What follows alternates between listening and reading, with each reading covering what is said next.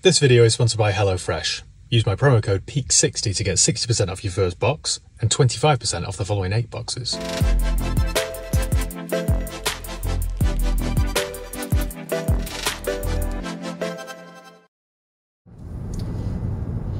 Alright guys, how's it going? Welcome back. Well, a few weeks ago, one of you suggested that I do a day in the life video, so I thought today might be the perfect day. I've got quite a bit to do today. I've got to go and pick up a Jaguar, which has had an engine rebuild with a massive bill, which I've been dreading it putting off. But today, I've just got to bite the bullet and go and get it. I bought two cars from a local main dealer, one of which is being dropped off so I can film with it on Sunday, but the other one I've got to go and get because it's a nice retail car, I hope. I've also got to finish the ending for an Audi A4 convertible that I bought a few weeks ago. I paid just £1,200 for this car, but it needed quite a bit of work. Anyway, it's now all done, so I need to finish the video. And I also need to do a video at the office for tomorrow night because I currently haven't got anything planned for tomorrow night. So yeah, quite a busy day. So, need to get cracking. But first, coffee. Need some coffee.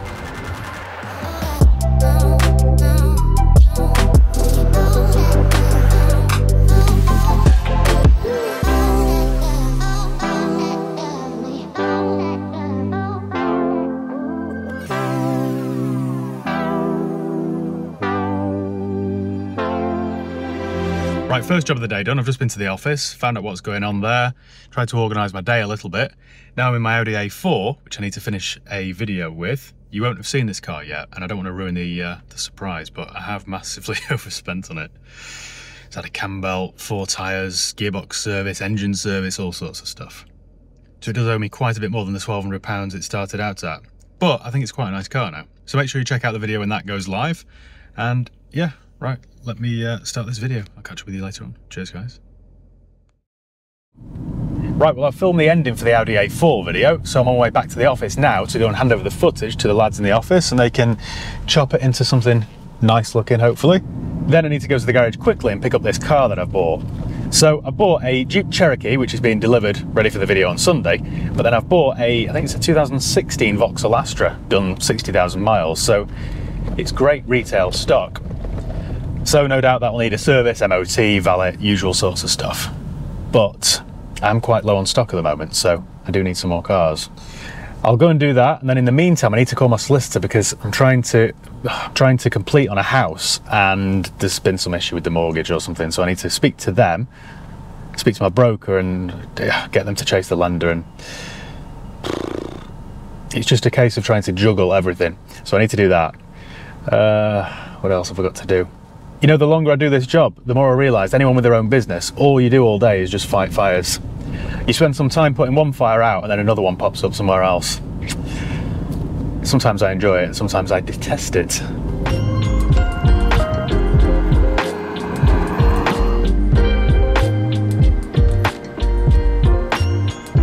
Right, I've just gone to the body shop to pick up this XE that I bought a couple of days ago. It's a really nice car, this actually. It's a petrol 2015 petrol Jaguar XE done 18,000 miles. Let me give you a quick little tour of it. So yeah, 18,000 miles, 2 litre turbo petrol, automatic. It's white with this nice two-tone interior with a sunroof. This should sell quite quickly.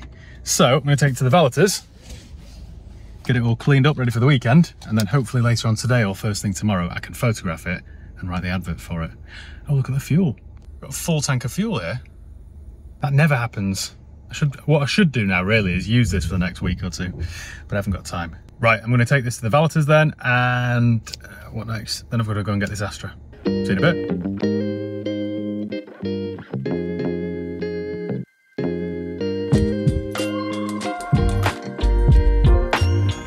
Right, I'm now in this 2011 104,000 mile Skoda Yeti that I sold about three or four weeks ago anyway, a couple of days ago, the customer got back in touch to say that there was a an oil pressure light on. Um, so I ran it back to my garage. It's quite a nice car, to be fair. I ran it back to my garage and they fitted a new oil pressure switch oil pressure sensor. The old one was broken. And what else did it have? They've replaced one of the injectors because that was coming up with a fault. It's a 1.6 TDI, I think. So now I'm going to do a road test. I'm going to use this as a runaround vehicle today to do a road test and make sure it doesn't fault before handing it back to the customer. Before I give it back, I just want to make sure that it's all right. So, uh, so that's the plan. So I'll go and do maybe 20, 30 miles in it and hopefully, fingers crossed, it's fixed. and I can give it back with some confidence. Next time you see me then, I should be in this Astra that I bought. So I just hope it's nice. Right, I'll see you there. Right, well I've just picked up the Astra and I've driven it back for maybe 10 miles and I'm a little bit disappointed. I was hoping this was going to be a car which I could just give a clean and service an MOT and put it straight on the forecourt, hopefully to sell this weekend, but needs a bit more work than that it's got quite a few things going for it. It's quite a nice spec. It drives really well. It's a 1.6 diesel, so it's free road tax. It'll do 60 or 70 miles per gallon. It's only done 62,000 miles. It's only had two owners, and look at the presets on the radio. Radio 4, Classic, Radio 3, 5 Live. So this has been owned by somebody slightly up in age. The service history is very good. We've got uh, full Vauxhall for the first four or five years, and then three independent. And it was done about two weeks ago. So there's nothing to do mechanically or uh, or MOT wise. But the reason I'm a bit disappointed is the condition of it. The inside's very grubby. It will clean up, but they've had a dog, quite a big dog, a molting dog. There's dog hairs everywhere and it stinks. So it needs a very good clean, new set of mats, an odour bomb. Try and turn it into a car, really? My guess is also they've had quite a tight, narrow driveway because the bodywork is below average. Let me show you. Turn it off for a second. We've got both sets of keys, that's good.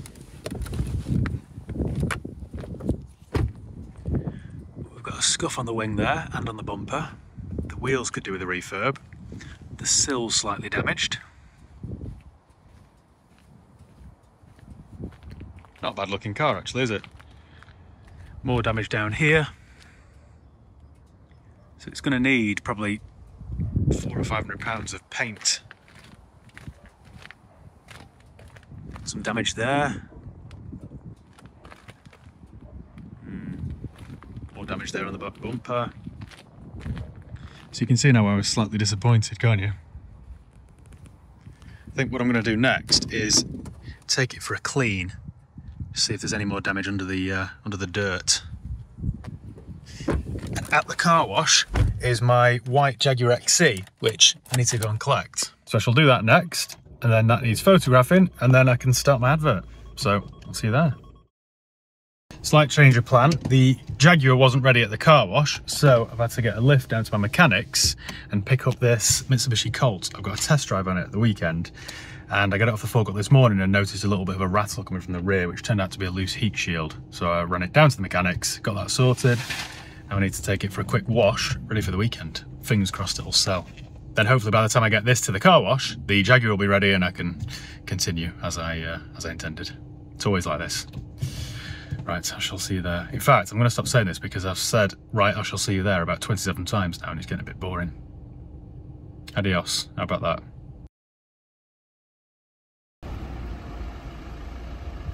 Well, I finally got back to work and photographed the Jaguar and also a 5 Series Estate, which has just landed. Uh, now I'm on my way back to the office to film a desk video. And I definitely wore the wrong thing today. It's, well, it's showing 24 degrees. I thought it was jumper weather. So I wore my uh, little Vineyards Vineyard or whatever it's called. Jumper that I bought in Bermuda. Right, I'm going then because I can't be on my phone while I'm driving. I'll stop saying that.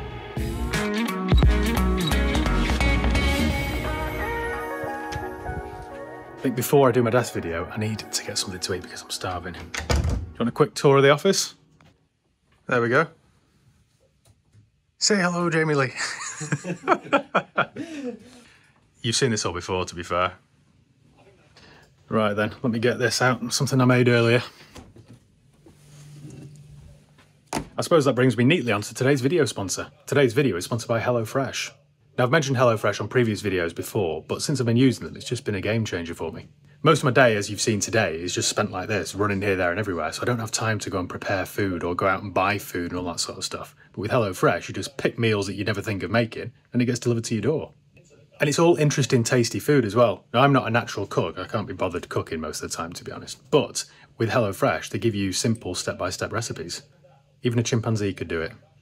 Now tonight I'm going out for food with some friends, so I didn't want to waste tonight's meal from HelloFresh. So last night I decided to cook it and bring it for lunch instead. So all I've got to do today is ping it. There we go. And I'll have a tasty, nutritious meal.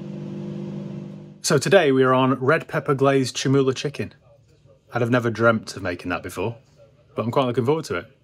The good thing with HelloFresh is it provides just enough ingredients, so there's no waste. I hate throwing good food away. It's all just really easy. You subscribe, choose the meals you want to eat, and then a box gets delivered to your door as if by magic, all full of fresh ingredients. On top of that, it's really good value for money. The meals work out on average about £3.15 each. So it saves me time, money, and food waste. It's a no brainer. If you'd like to try this out for yourself, and I would highly recommend it, you can save yourself 60% off your first box and then 25% off the following eight boxes. All you need to do is use my promo code PEAK60, or alternatively, click the link below in the video description. So thank you HelloFresh for sponsoring today's video. Right, I'm going to film this desk video, and I'll catch up with you shortly. Right, well, I'm currently in a Ford Focus ST, a really nice one actually, done 32,000 miles. I've got an appointment on it tomorrow, so I got it off the forecourt, just gonna take it for a quick wash, and I realised it was running on fumes, so just stopped and put 20 pounds of V-Power in it. Uh, what else has just happened? I've just had a call from a garage down south to pay a bill on an Audi A6 that I sold. Quite a nice 2016 Audi A6, done 40,000 miles. That I sold to a guy who was moving back to the UK and he lived can't remember. China or Hong Kong, somewhere, somewhere far afield anyway. So he bought it blind. I got it delivered down to him about three weeks ago. And within about 50 miles of him having it, a DPF light came on and something else came on. So I took it into his, or he took it into his local garage. I authorised the work, not expecting it to be quite so expensive. And my bill on that one was £2,956 the girl called the garage this morning, the girl from the garage called my garage this morning to get payment. And I thought she said 295, so I thought, oh, that sounds quite reasonable. So I gave my long card number and paid it. Then when the invoice came through, I realised it was an additional digit. So now I feel a bit sick. Sold one car all week, a Vauxhall Agila, done 102 with about £700 profit in it. I just hope things improve this weekend. So Anyway, gotta keep trying, haven't you? Right, see you later on.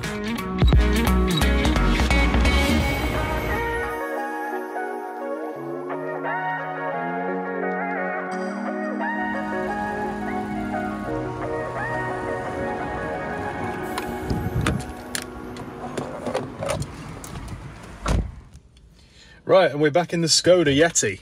So I use this Skoda Yeti to do my running around in. I've just dropped it off for a wash, so it's all nice and clean for the customer. And it hasn't faltered. In fact, it's been really good to use. I quite like the Yeti, as I've mentioned many times before. This, and I know I always moan about this, but this was another example where I sold a car, 12-year-old car done 104, customer had it three weeks, then it broke, then all of a sudden, he gets on the phone or turns up at the garage even, twice, ranting and raving about I'm the biggest crook and all that sort of stuff. And it isn't fair. Yes, I sold it, it's my responsibility, I'm going to pay the bill, but cut me some slack, do you know what I mean? You bought an old high mileage car, I'm going to fix it. Yes, nobody likes the car to break, it's a slight inconvenience, but I'm picking up the bill, and I'm going to lend you a courtesy car if you need one. Get some patience, do you know what I mean? Anyway, I'm going to take this back to work now and copy my bills for him so he can see I've had the work done and see what else needs doing. I need to photograph a Skoda Fabia that I've had for about a month and had no interest in it at all. And it's quite a nice car. So I'm thinking, I've just had it washed, I'll re-photograph it and tweak the advert slightly, maybe reduce the price a little bit and see if I can move it on. So oh, I'm just praying for a busy weekend. See you there. I've just photographed this Skoda, which I've had for about a month now, and I don't understand why it hasn't sold, because it's a really nice car. This is the frustrating, well, one of the many frustrating things about this job. You've got something here that's like perfect stock, and I've had no interest in it whatsoever. And yet I sell a Vauxhall Agila at 1995 around it. Doesn't make any sense at all. In between all that, I've just had an email from somebody, a viewer of the channel, wanting my advice on what car to buy. And it's, I get these all the time, and I do try my best to reply to comments on Instagram emails, all that sort of stuff. But I fly around 100 miles an hour all day long. I haven't got time for that, I'm afraid. So, although I do try my best. Today isn't a great day, to be fair. I can feel my eyelid flickering, which I think only happens when I'm stressed. Right, uh, I don't even know what I'm doing now. Lost track of it. See you in a bit. I've just bought another R129SL. This one's a 5 litre though, this is the SL500. Or according to the tailgate now, it's an L500 because my, uh, my S has fallen off. I've just bought it from the guys down at SPR who have been looking after it for about eight years. And the customer wanted to sell, so uh, they bought it and I bought it from them. And I think I might keep this one and sell my 320 because this is a 5 litre. So you've got things like heated seats, you've got an adjustable, look at this, Never seen that before in my life. And of course it's a five litre V8, which is a bit more me. That's my plan anyway. Uh, what next? Oh, in other news, I've just had a letter, a recorded letter, from the guy that bought the Yeti wanted to reject it. I'm taking on quite a bit of water today, folks.